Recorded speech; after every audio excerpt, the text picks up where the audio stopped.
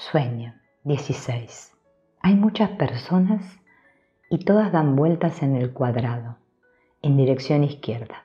El sujeto que sueña no está en el centro, sino en un lado. Se dice que se pretende reconstruir el gibón.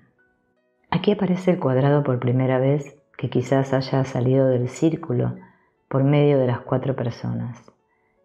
Esto se confirmará más tarde.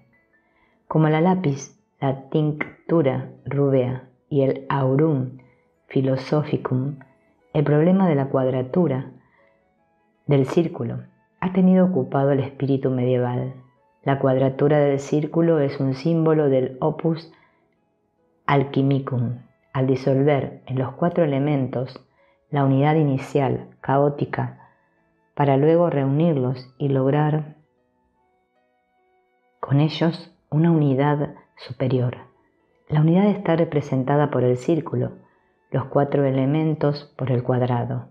La obtención del uno a partir de los cuatro se conseguía mediante un proceso de destilación y sublimación, respectivamente, que discurría en forma circular, es decir, el destilado era sometido a diversas destilaciones con objetos de que el alma o el espíritu surgiera en su forma más pura.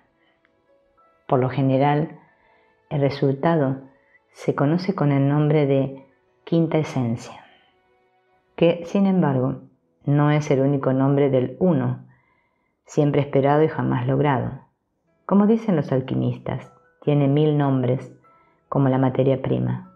He aquí lo que dice sobre la destilación circular Heinrich Kunrat en su confesión mediante circunrotación o giro filosófico circular de lo cuaternario, traída de nuevo a la más alta y más pura simplicidad o ingenuidad, monadis catholicae plus quam perfectae. De un uno burdo e impuro se obtiene en uno sutil de pureza máxima, etc. El alma y el espíritu se han de separar del cuerpo, lo cual equivale a una muerte. Por ello dice también Pablo de Tarso, cupio dissolvi et esse cum Cristo. Por ello, querido filósofo, tienes que recoger aquí el espíritu y el alma magnesiae. El espíritu, espíritu y alma respectivamente, es el ternario 3, que es separado primero de su cuerpo y vuelto a insuflar en éste una vez purificado aquel. El cuerpo es el cuarto con toda evidencia. Por consiguiente, Kunrat se refiere a la cita pseudo-aristotélica, según la cual el círculo vuelve a surgir del triángulo inscrito en el cuadrado. Junto a Ouroboros, el dragón que se devora por la cola, esta figura circular constituye el mandala alquimista básico. El mandala oriental sobre todo la maísta, contiene por lo general un plano horizontal de un estupa cuadrada. En el mandala ejecutado corpóreamente se aprecia que el plano representa realmente el de un edificio.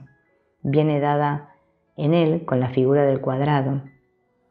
También la idea de la casa o del templo y respectivamente un recinto interior. Según el rito, por las estupas se ha de andar siempre por la derecha, ya que avanzar por la izquierda trae consigo el mal. La izquierda, siniestra, significa la parte inconsciente. Por consiguiente, el movimiento de avance por la izquierda equivale al movimiento en dirección hacia el inconsciente, mientras que caminar por la derecha es correcto y apunta hacia el consciente.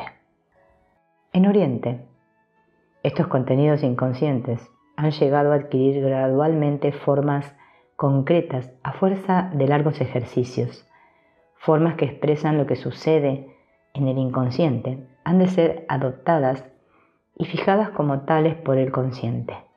También el yoga, tal como lo conocemos en la práctica, como una práctica establecida, procede de forma parecida, imprime en el consciente formas fijas. De aquí que el paralelismo occidental más importante lo constituyan los Sitia Espiritualia de San Ignacio de Loyola, los que imprimen en la psique las ideas de salvación establecidas. Esta práctica es justa en cuanto el símbolo expresa todavía de forma válida el estado de cosas inconsciente. La autenticidad psicológica del yoga, tanto en Oriente como en Occidente, termina solo cuando el proceso inconsciente que anticipa futuras modificaciones del consciente se ha desarrollado ya hasta tal punto que presenta matices que ya no pueden ser expresados de manera satisfactoria con el símbolo tradicional y que respectivamente no son ya compatibles con el mismo. Entonces y solo entonces se puede decir que el símbolo ha perdido su autenticidad. Posible que este proceso sea un lento desplazamiento secular de la imagen inconsciente del mundo y no guarde relación alguna con críticas y comentarios intelectualistas. Los símbolos religiosos son fenómenos de la vida, hechos a secas y no opiniones. Si la Iglesia se atuvo durante siglos a que el Sol giraba en torno a la Tierra y abandonó este punto de vista en el siglo XIX, puede escudarse en la verdad psicológica de que para muchos millones de personas el Sol giraba alrededor de la Tierra y que solo la llegada del siglo XIX trajo consigo un gran número de personas cuya función intelectual consiguió la seguridad necesaria para poder comprender las demostraciones de la naturaleza planetaria de la Tierra. Por desgracia, no existe ninguna verdad cuando no hay personas que la perciban. El circumambulatio del cuadrado en sentido izquierdo podría indicar que la cuadratura del círculo pasará por el camino al inconsciente, que, por tanto, es así un punto instrumental de paso que procura el logro de una meta todavía no formulada existente detrás. Es uno de los caminos que conducen al centro del non-ego, camino que fue también recorrido por la investigación medieval, concretamente en la obtención de la lápiz. El Rosarium Philosophorum dice, Haz con el hombre y la mujer un círculo y saca de éste el cuadrado y del cuadrado el triángulo. Haz un círculo y tendrás la piedra filosofal. Naturalmente, tales cosas son absurdos rematados para el intelecto moderno, pero este juicio de los valores no elimina de ningún modo el hecho de que existen tales asociaciones de ideas y hasta han desempeñado un papel importante durante muchos siglos. Compete a la psicología comprender estas cosas y dejar que sea el profano en la materia quien se desate en improperios contra la necedad y el oscurantismo. Muchos de quienes me critican que se las dan de científicos proceden exactamente como aquel obispo que excomulgó a los abejorros para multiplicarse de manera indebida. Lo mismo que las estupas guardan reliquias de Buda en lo más íntimo de sí mismas, se encuentra en el interior del cuadrado lamaísta, poco más o menos que en el cuadrado chino de la Tierra, lo santísimo o mágicamente eficaz, en concreto, la fuente de energía cósmica, el dios Shiva, Buda, un bodhisattva un gran maestro. En el chino es Qian, el cielo con sus cuatro fuerzas cósmicas radiantes. También en el mandala occidental, el medieval cristiano, la divinidad está en el centro, con frecuencia en la figura del Salvador triunfante, con las cuatro figuras simbólicas de los evangelistas. El símbolo del sueño contrasta ahora de la manera más viva con estas máximas representaciones metafísicas, pues ha de ser reconstruido en el centro el gibón, un mono sin lugar a dudas. Nos encontramos de nuevo aquí al mono que aparece por vez primera en el sueño 22, donde da motivo al pánico y una intervención eficaz del intelecto. Ahora debe ser reconstruido, lo que posiblemente no signifique otra cosa sino que debe ser recompuesto, el antropoide, la arcaica realidad, ser humano. Por tanto, es evidente que el camino por la izquierda no conduce hacia arriba, al mundo de los dioses y de las ideas eternas, sino hacia abajo, a la historia de la naturaleza, a la base instintiva animal del ser humano. Se trata por consiguiente de un misterio dionisíaco, para expresarlo con palabras de la antigüedad. El cuadrado corresponde al témenos, donde se representan funciones teatrales, en este caso la de un mono en vez de la de un sátiro. Lo interior de la floración áurea es un lugar germinativo donde se crea el cuerpo diamantino. Es sinónimo tierra de los antepasados, incluso quizás apunta hacia la idea de que esta creación surge de una integración de las fases de los antepasados. Los espíritus de los antepasados desempeñan un papel importante en los ritos de renovación primitivos. Nativos del centro de Australia, hasta se identifican con sus antepasados de la época alcheringa, una especie de época de Homero. Igualmente, los taos pueblos en la preparación de sus danzas y rituales se identifican con el sol, cuyos hijos son la identificación regresiva con los antepasados humanos y animales, significa psicológicamente una integración del inconsciente, en realidad un baño de renovación en la fuente de la vida, donde se vuelve a ser pez, es decir, inconscientemente como en el sueño, en la embriaguez y en la muerte. De aquí el sueño de la incubación, la consagración dionisíaca y la muerte ritual de la iniciación. Naturalmente, estos procesos tienen siempre lugar en sitios sagrados. Estas ideas se pueden trasladar fácilmente al concretismo de la teoría freudiana. El témenos es entonces el regazo de la madre y el rito en una regresión al incesto.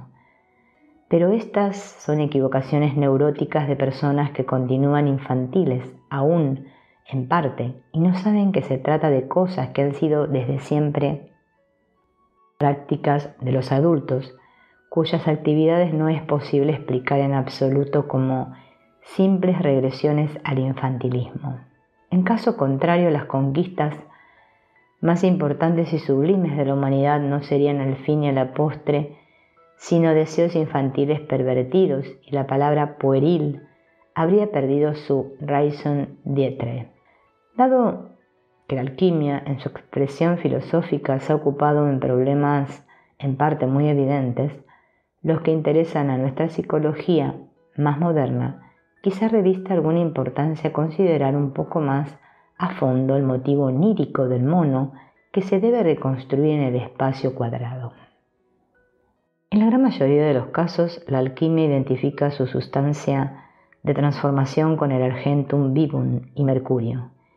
Químicamente este término corresponde a un metal, filosóficamente en cambio es el spiritus vitae, incluso el alma del mundo. Y Mercurio tiene así también el significado de Hermes, el dios de la revelación. No es este el lugar de exponer in extenso esta relación, de la que nos ocuparemos en otro extremo.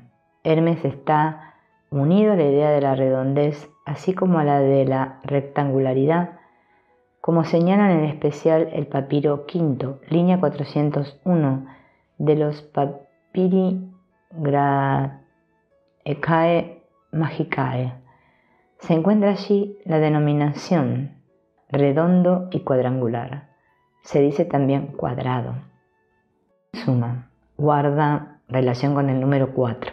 De aquí que haya también las cuatro cabezas, estos atributos eran conocidos también en la Edad Media, según muestra, por ejemplo, la obra de Catari.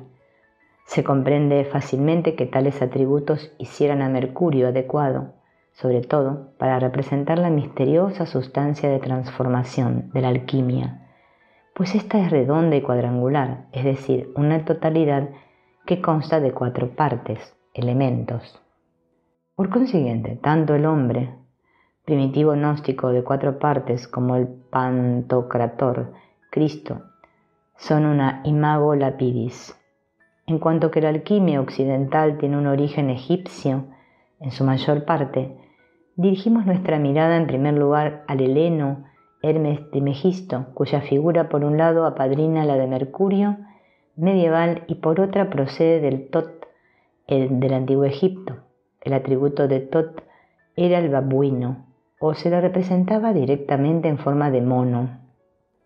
Idea que se mantuvo hasta los últimos tiempos del modo de ver directo a consecuencia de las innumerables ediciones del libro de los muertos. Cierto que en la alquimia cuyos textos existentes pertenecen, salvo raras excepciones, a la era cristiana, ha desaparecido la antiquísima relación de Tot Hermes con el mono, aunque todavía perduraba en la Roma imperial. Pero como Mercurio tiene algo en común con el diablo, vuelve a aparecer el mono en Simia Dei, en las proximidades de Mercurio. Pertenece a la esencia de la sustancia de transformación que por una parte sea muy barata, incluso despreciable, y se represente mediante una serie de alegorías diabólicas tales como la serpiente, el dragón, el puerco, el león, el basilisco y el águila, y por otra sea lo más valioso que hasta signifique lo divino. Precisamente la transformación conduce de lo más profundo a lo más elevado, desde lo infantil animal arcaico hasta el místico Homo Maximus. Si se toma en serio el simbolismo de los ritos de renovación, señalan por encima de lo arcaico y puramente infantil hacia esa innata disposición psíquica que es el resultado y depósito de toda la vida de los antepasados, remontándose hasta la animalidad, de aquí el simbolismo de antepasados y animales.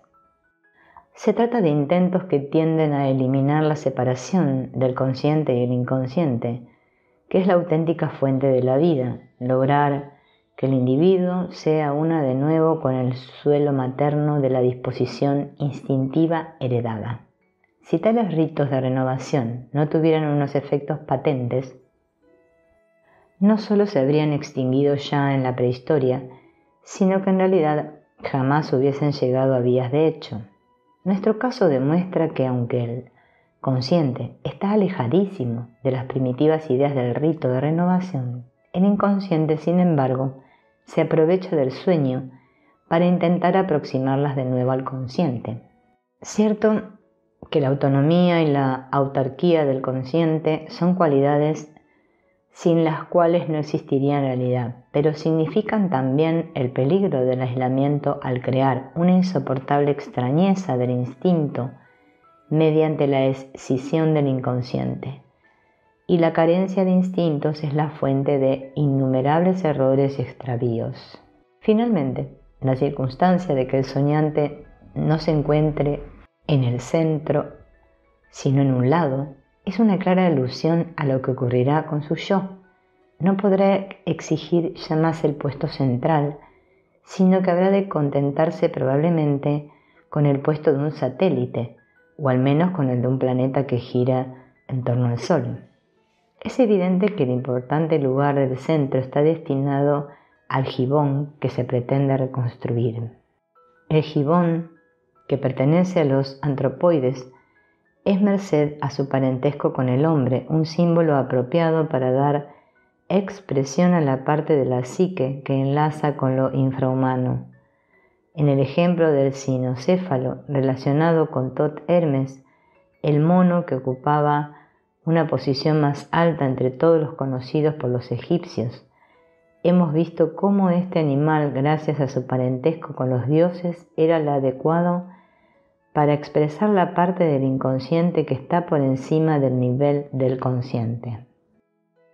Posiblemente apenas nadie se escandalizará seriamente si suponemos que la psique humana tiene pisos que están situados debajo del consciente. Pero si admitimos que igualmente puede haber pisos que, por decirlo así, se hallan por encima del consciente, parece esta una suposición rayana en un crimen le hace maestatis humana, AE. Según mis experiencias, el consciente solo puede reclamar una posición central relativa y ha de tolerar que en cierto modo la psique inconsciente la rodee por todas partes y sobresalga. Los contenidos inconscientes hacen que el consciente enlace hacia atrás con condiciones fisiológicas por un lado y premisas arquetípicas por otro, pero también se anticipa hacia adelante mediante intuiciones, las cuales a su vez están condicionadas por parte por arquetipos y en parte por percepciones subliminales que están en armonía con la relatividad espacio-temporal del inconsciente. Tengo que dejar al albedrío del lector que sea él quien emita un juicio propio sobre la posibilidad de tal hipótesis, basándose para ello en una consideración a fondo de esta serie de sueños y de los problemas que se le exponen. El sueño que sigue se reproduce en su texto original sin acortar. Sueño 17. Todas las casas tienen algo de teatral. Bastidores y decoraciones. Se menciona el nombre de Bernard Shaw. Al aparecer, la obra se representará en un futuro lejano. Encima de un bastidor figura en inglés y en alemán. Esta es la Iglesia Católica General. Es la casa del Señor. Pueden entrar todos los que se sientan instrumento del Señor. Abajo está impreso en letras más pequeñas, la iglesia ha sido fundada por Jesús y Pablo, como si quisiera elogiar la antigüedad de una casa comercial. Digo a mi amigo, ven, echemos un vistazo. Él responde, no veo por qué han de reunirse muchas personas cuando tienen sentimientos religiosos. Responde entonces, como eres protestante jamás lo comprenderás. Una mujer está muy de acuerdo conmigo. Ahora veo una especie de bando en la pared de la iglesia que dice, Soldados, si sentís estar en el poder del Señor, evitad hablarle directamente, pues al Señor no se le puede alcanzar con palabras.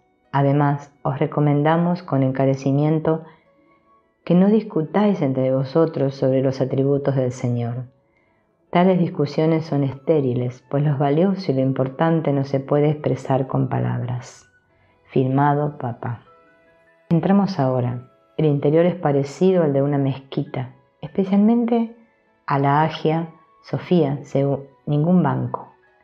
Un hermoso efecto de espacio, ninguna imagen, sentencias enmarcadas adornan las paredes, como allí las sentencias del Corán.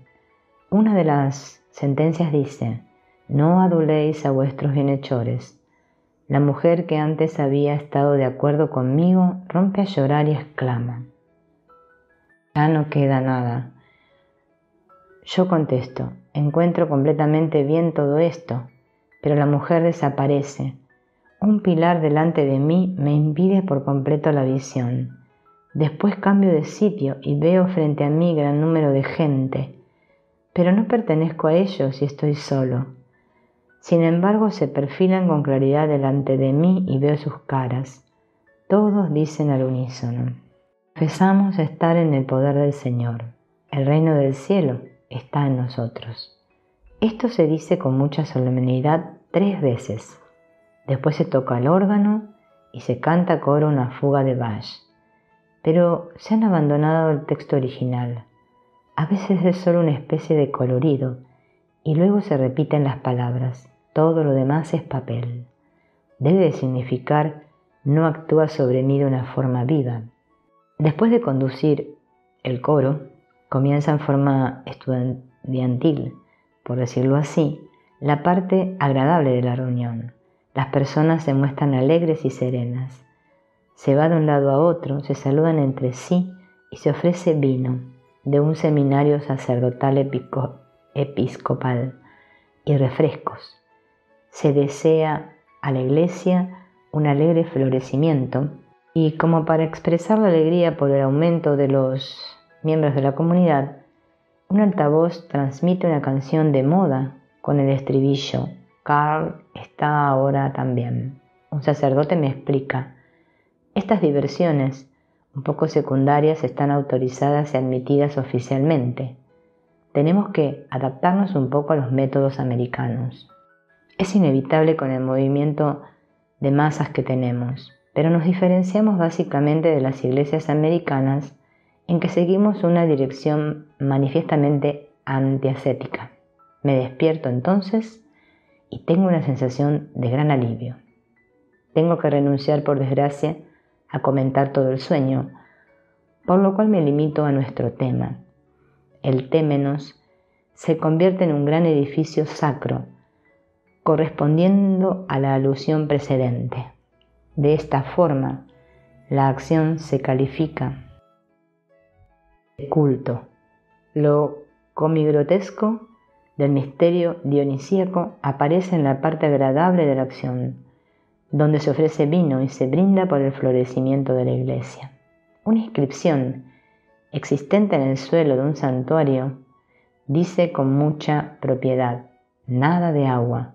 Las reliquias dionisíacas existentes en la iglesia, por ejemplo, los símbolos del pez y del vino, cáliz de Damasco, la barra de sellar con el crucifijo y la inscripción, y otras muchas cosas se mencionan aquí únicamente de una forma somera. La dirección antiascética señala con claridad la diferencia respecto de la Iglesia Católica, a la que califica aquí de americana. Véase el comentario de sueño 14. América es el país ideal para las ideas sensatas del intelecto práctico.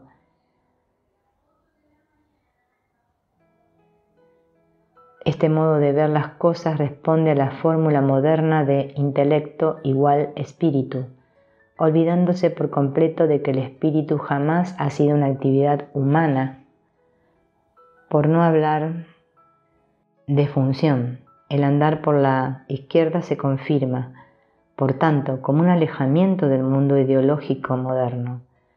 Al principio en dirección de una regresión al mundo dionisíaco precristiano, que desconoce toda ascética en el sentido cristiano, pero mientras esto sucede, la evolución no sale en definitiva del lugar sagrado, sino que permanece dentro del mismo. Dicho de otro modo, no pierde su carácter sacro no se torna sencillamente anárquica y caótica, sino que pone a la iglesia en relación inmediata con el santuario de Dionisios, tal como ha hecho también el proceso histórico, pero en dirección opuesta. Por tal motivo, se puede decir que la evolución regresiva vuelve a recorrer con exactitud el camino histórico para llegar a los escalones precristianos. Así pues, no se trata de un retroceso, sino, por decirlo así, de un descenso sistemático ad inferos, de una nequia psicológica.